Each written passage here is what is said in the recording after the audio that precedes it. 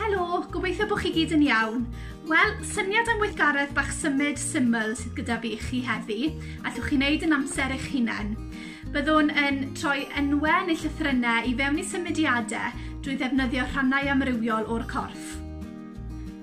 Nawr te, y peth cyntaf sydd eisiau chi wneud yw i benderfynu pa enw chi'n mynd i fod yn defnyddio allai bod enw chi'ch hunan, enw rhywun arall, neu enw yn ni fel anwes.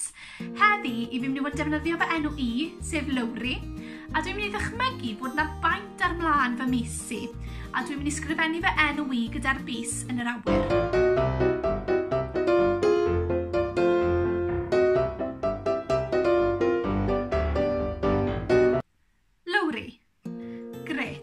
Y nod wedyn yw i symud mlaen i wneud symudiadau'n fwy o faint yn defnyddio yr un enw.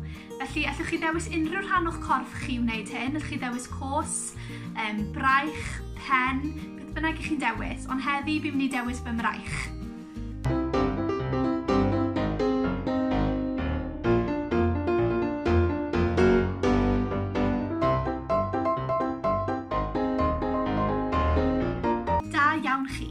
Os ych chi wedyn eisiau mynd cam ymhellach er mwyn cael rhagor o ymrywiaeth a chreu darn o waith symud diddorol allan o unrhyw enw, gallech chi gyfnewid bob llythyren gyda rhan wahanol o'r corff. Er enghraifft, gallwn ni sgrifennu yl gyda fy mraich, o gyda fy mhen, w gyda fy nghos, yr gyda fy mhenelyn a i dot gyda fy mis. Thank you.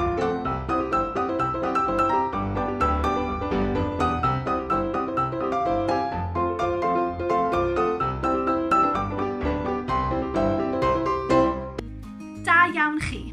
Os ych chi'n teimlo'n hyderus ac eisiau mynd cam ymhellach eto, wedyn mae yna gyfle i chi i ymestyn ar yr enwau.